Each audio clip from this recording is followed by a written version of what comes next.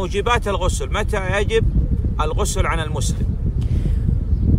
குளிப்பை கடமையாக்கக்கூடிய விடயங்கள் எப்போது ஒரு முஸ்லிமுக்கு குளிப்பு கடமையாகும் الأول الجنابة سواء كان باحتلام سواء كان من مستيقظ أو نائم أو من جماع அதாவது يصل منه المني سواء كان مستيقظ أو نائم أو إذا جامع அதாவது ஜனாபா ஜனாபத்தை பொறுத்தவரையில் அவர் தூக்கத்திலோ அல்லது தூக்கமில்லாத விழிப்பிலேயோ அவருக்கு மணி வெளிப்படுகிறது இந்திரியம் வெளிப்படுகிறது அல்லது அவர் மனைவியோடு உறவு கொள்கிறார் மனைவியோடு உறவு இந்திரியம் வெளிப்படாவிட்டாலும் அங்கே அவருக்கு ஜனாபத் ஏற்படுகிறது இதனால் அவருக்கு குளிப்பு கடமையாகிறது الثاني إسلام الكافر الكافر إذا أسلم يغتسل இரண்டாவது பொறுத்தவரையிலே ஒரு காஃபிர் இஸ்லாத்துக்கு வருகிறார் அவர் இஸ்லாத்துக்கு வந்தால் குளித்துக் கொள்ள வேண்டும் وموت غير الشهيد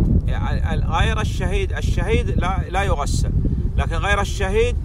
إذا مات لابد أن يغسل அதே போன்று ஷஹீத் அல்லாத ஒருவர் அதாவது சாதாரண ஒருவர் மரணித்தால் அவர் குளிப்பாட்டப்பட வேண்டும் ஷஹீதை பொறுத்தவரையில் அவர் குளிப்பாட்டப்பட மாட்டார் எனவே ச- ஒரு மரணித்த ஒருவர் குளிப்பாட்டப்படுவதும் கட்டாயமாக இருக்கிறது அந்த நேரத்திலும் குளிப்பு கடமையாகிறது نعم والمرأة إذا طهرت من الحيض والنفاس وجب عليها أن تغتسل والله أعلم அதே நேரத்தில் ஒரு பெண்ணை பொறுத்தவரையிலே மாதவிடாயில் இருந்தோ அல்லது பிள்ளை பெற்றதற்கு பிறகு ஏற்படுகின்ற நிபாசில் இருந்தோ